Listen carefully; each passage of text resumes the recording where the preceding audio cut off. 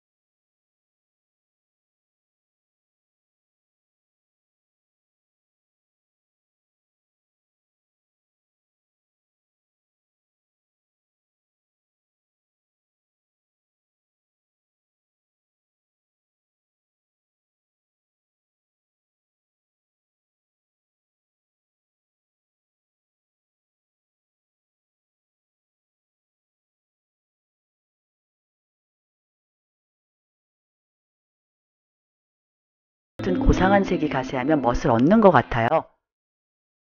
신발은 누드 내지는 베이지나 샴페인 빛깔을 추천합니다. 가능한 한 피부톤에 가까운 색이 다리를 덜 짧게 보이게 하니까요. 뱀피 클러치에 뱀피 샌들을 신을지 샴페인빛 샌들이 좋을지 잘 모르겠네요. 여러분께서는 어떤 걸 선호하시는지 궁금하네요.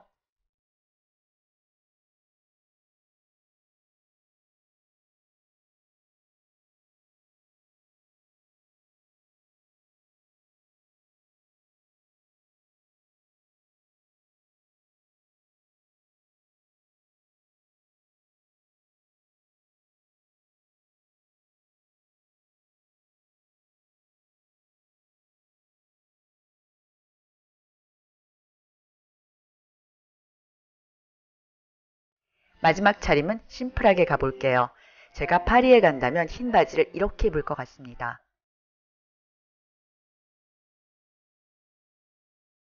속 시원하게 구멍을 벨트 끝자락까지 낸 이 가느다란 벨트는 진정한 필수 품목인데요. 추가로 구멍을 낼 필요가 없어서 편하고 또 가늘어서 티셔츠를 바지 겉으로 내고 입었을 때 우둘투둘 벨트 윤곽이 드러나지 않아서 좋더라고요. V자 목선은 진주 한 알이 달린 가느다란 목걸이를 위한 최적의 공간이 아닐까 싶어요. 줄 길이가 다른 목걸이 하나를 layering해서 찼었으면 제 성에 더 찼을 것 같아요. 목에서 진주가 반짝이니 손목에 진주 팔찌를 차면 통하는 분위기가 조성되겠죠. 그런데 진주 팔찌만으론 모던함이 달리는 것 같아 원더우먼 팔찌 비스무리한 메탈 cuff 팔찌를 더해볼게요. 무장한 기분이 드는 게 바로 cuff 팔찌의 매력이죠. 그리고 장신구 부문 마무리는 어머님표 예물 진주 반지에게 맡기고요. 진주와 메탈, 따뜻함과 서늘함, 상반되어서 더 멋진 조화는 진 차림을 스타일리시하게 격상시켜 줍니다. 신발은 차림을 한 단계 올려줄 검은색 T자 strap 샌들을 신을 거고요. 백은 데님 바지를 늘 우아하게 돋보여주는 샤넬 2.5로 들어줍니다. 제가 좋아하는 꾸민 듯 안 꾸민 그런데 알고 보면 꾸민 일명 꾸안꾸룩이 만들어졌네요.